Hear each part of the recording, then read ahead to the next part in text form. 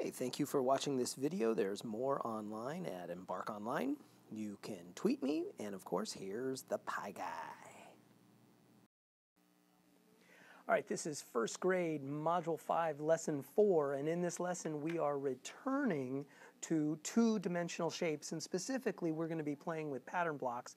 So we're kind of leaving the world of 3D and we're heading back to 2D. Now, parents and teachers, really the point of this is to just let your students use these pattern blocks and play and they're going to be building things with their pattern blocks and we're going to like be, use multiple pattern blocks to build other shapes that's what it, what we mean by create composite shapes is just letting our students play and then they're going to we're going to give them vocabulary for the new figures that they create. So let's get started.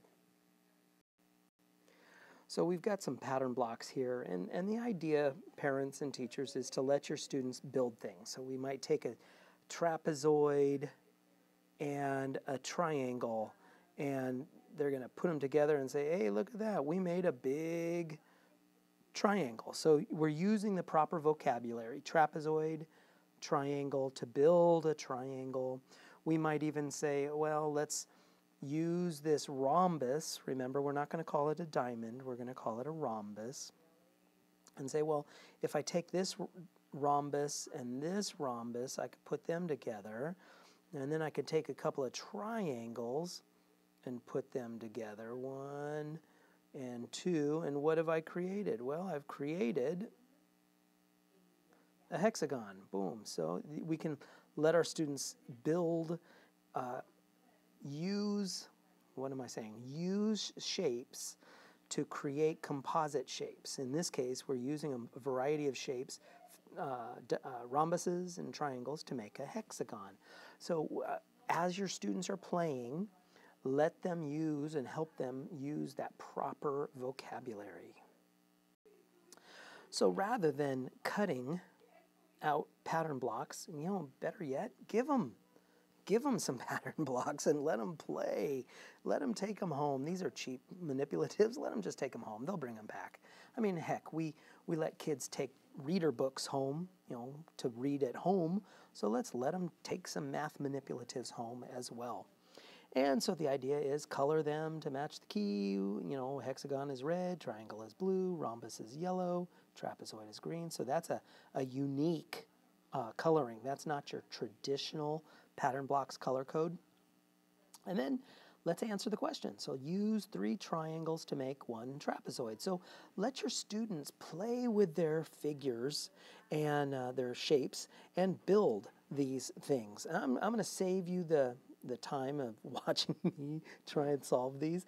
The point is, let your kids play, and as they're playing, encourage them to use that proper vocabulary. And I love this problem. It says, How many squares do you see in this large square? Now, the first thing I'm going to point out, it says large square right here. But then over here it says, I can find blank squares in this rectangle. And the students might say, hey, wait a second, this is not a rectangle, it's a square. So, parents and teachers, this is a great opportunity to remind them that, wait a second, a square is a very special rectangle. So, we can indeed call this a rectangle. Of course, we could also call it a square.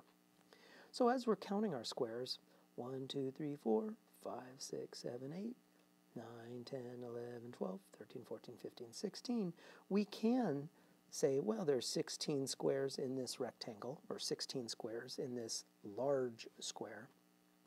But the fact that they're calling it a large square might mean we can find more than just 16 squares. For example, we can put two, uh, four squares together to make another square. So instead of having 16, we might have more than 16. So, parents and teachers, let your students have fun building squares, drawing squares, counting squares. If they don't get the right, and I put that in quotes, air quotes, the right answer, don't worry. Because really, the point of this is to help them count and um, practice using their vocabulary, in this case, square. And that wraps up first grade module 5 lesson 4 we are creating composite shapes using those pattern blocks. Hey, by the way, don't forget to subscribe to my channel. Thanks.